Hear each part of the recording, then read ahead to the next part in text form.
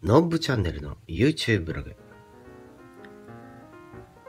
えー、スマップの問題ですね。こちらの方ですね、えー、先日のフジテレビのスマスマの方で、えー、本人たちの会見がありまして、一応一件落着という形で、え、事態収拾となりました。